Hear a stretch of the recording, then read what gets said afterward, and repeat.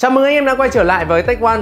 Không biết có phải vì đang chuẩn bị vào năm học mới hay không mà dạo này nhu cầu đổi à, điện thoại, laptop của các bạn học sinh sinh viên mình thấy tăng lên hẳn. Mình gặp rất nhiều câu hỏi kiểu như đang dùng đời này thì có nên bỏ thêm vài triệu để lên đời kia hay không? Cái này thật ra thì còn phụ thuộc vào rất nhiều yếu tố. Để lấy ví dụ cho những thắc mắc này thì mình à, cùng các bạn hôm nay sẽ cùng so sánh hai mẫu iPhone rất là iconic, iPhone 11 và iPhone 12. Các bạn đang dùng iPhone 11 cũng nên xem để xem có câu trả lời cho việc có nên nâng cấp lên iPhone 12 không nhé. Intro.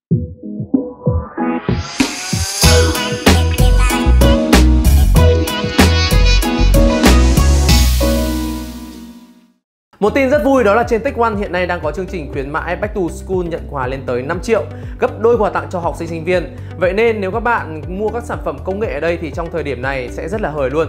Thông tin chi tiết mình sẽ để dưới phần mô tả cho các bạn tham khảo nhé. Nhìn vào bảng giá tham khảo thì chúng ta có hai chiếc iPhone 11 và 12 phiên bản 64GB hàng line new với giá lần lượt là hơn 7 triệu đồng và hơn 9 triệu đồng. Nghĩa là chúng chênh nhau hơn khoảng 2 triệu đồng các bạn ạ.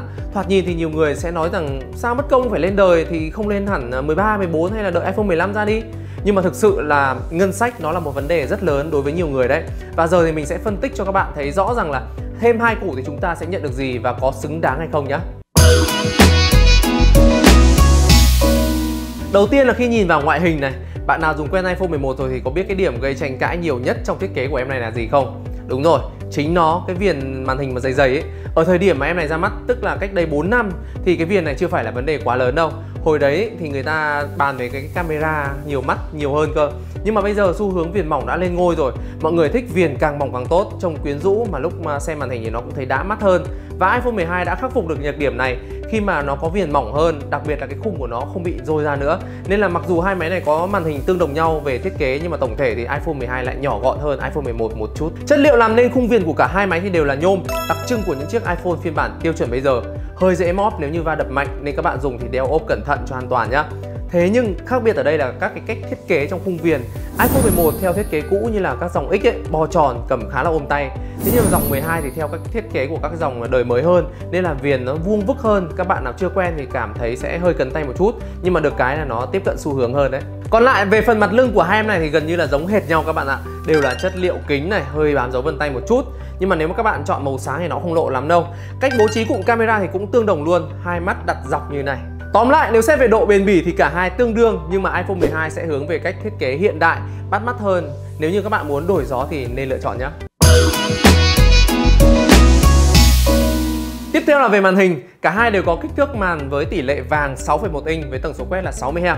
Nếu bạn nào đang dùng iPhone 11 rồi thì chắc cũng đoán được là máy nào có màn hình đẹp hơn rồi đúng không? Thật ra màn hình Liquid Retina IPS LCD với độ sáng 620 nit không phải là quá tệ nhân danh một con flagship cũ của Apple thì nó vẫn đáp ứng được tốt các cái nhu cầu của mọi người thôi. Tuy nhiên nếu nâng cấp lên iPhone 12 thì các bạn sẽ có tấm nền Super Retina XDR OLED, độ phân giải là 2532 x 1170 pixel. Xem được HDR với độ sáng max là 1200 nit, cái này thực sự là một cuộc cách mạng cho đôi mắt đấy mọi người ạ. Trong khi trình chiếu thực tế thì uh, thực sự là iPhone 11 gọi là đủ dùng thôi. Độ sáng nó cũng vừa đủ, mọi thứ nó tròn trịa chứ chưa thực sự có độ sâu. Còn nhìn sang iPhone 12, màn hình của nó sẽ sáng hơn một chút nhá. Độ phủ màu, chuyển màu cũng chân thực hơn hẳn khung hình sắc nét và có chiều sâu. Đặc biệt là khi các bạn thay đổi góc nhìn một chút thì à, tức là cho cái máy nó ra khỏi tầm mắt ấy thì lúc này màn hình của iPhone 11 nó sẽ khó nhìn hơn so với iPhone 12 và khi xem HDR hay là ra ngoài trời nắng đi độ sáng của iPhone 12 sẽ đạt cực đại. Khi ấy thì chúng ta sẽ thấy sự lép vế của iPhone 11 khá rõ ràng. Thế còn khả năng chụp ảnh quay phim thì có chênh lệch nhau hay không đây? Xét về tính đa dụng thì không vì cả hai đều không có camera tele còn về thông số thì không phải bàn, chắc chắn đời cao hơn sẽ có thông số tốt hơn rồi. Thế nhưng test thực tế thì cả hai có gì khác biệt hay không nhỉ? Với điều kiện ánh sáng bình thường thì iPhone 11 có xu hướng đẩy màu sắc đậm đà hơn thực tế nên là phần da sẽ bị vàng hơn nếu như khi các bạn chụp người. Còn iPhone 12 thì màu sắc nó sẽ hài hòa hơn, ảnh có sáng hơn một chút. Vào nơi thiếu sáng hơn thì iPhone 11 cũng cho chất lượng ảnh không tốt bằng iPhone 12, ảnh tối hơn, bệt màu và thiếu chi tiết hơn. Khi selfie thì cả hai đều ổn, chỉ là iPhone 11 dường như vẫn làm da mình bị vàng hơn, trong khi iPhone 12 thì cân bằng sáng tốt hơn và cho nước ảnh à, hài hòa hơn các bạn nhé. Về quay video thì cả hai đều có chế độ 4K và cho ra chất lượng tốt khi ở điều kiện thường.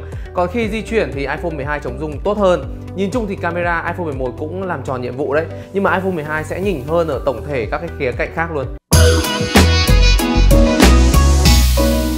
Bên cạnh những yếu tố vừa rồi thì pin là thứ mà mọi người quan tâm và điều bất ngờ là pin của iPhone 12 nó lại hẻo hơn iPhone 11 Đây có lẽ là một điểm hiếm hoi mà iPhone 12 lép vế hơn iPhone 11 Nếu như pin của iPhone 12 là 2815 mAh thì iPhone 11 nhỉnh hơn một chút là 3110 mAh Chênh nhau không quá nhiều nên thời lượng sử dụng của hai máy này là ngang ngửa nhau, Rơi vào khoảng 5 đến 6 tiếng on screen.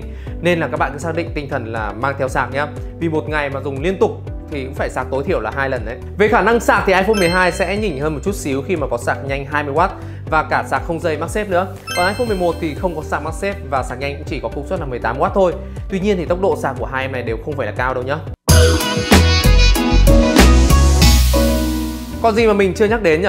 Hiệu năng chứ còn gì nữa. Với mình xét về sức mạnh và độ ổn định thì Apple A13 hay là Apple A14 bây giờ đều vẫn rất là tốt. Mình nghĩ ờ, cái cách mà iPhone hoạt động nó mượt mà trải qua thời gian sử dụng 5 7 năm là rất là ok.